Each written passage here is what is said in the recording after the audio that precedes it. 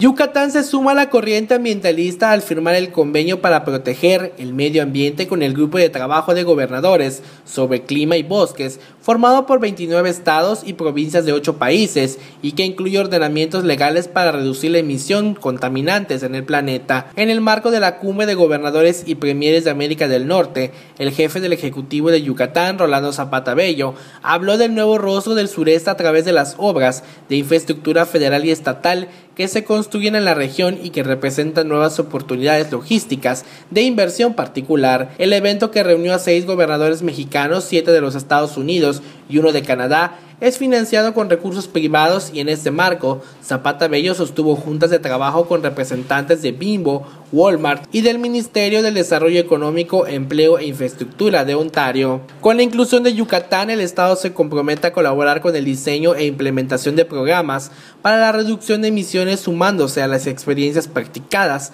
en la mitigación del calentamiento global con el compromiso de reducir la desforestación tropical, proteger el sistema climático, mejorar los medios de vida rurales y reducir la pobreza. El convenio firmado por Zapata Bello, Under Tomorrow, se origina por la asociación entre el gobierno de California y el de Estados Unidos, con el deseo de reunir a regiones comprometidas con el desarrollo de actividades que reduzcan los gases de efecto invernadero. Comunica e informa.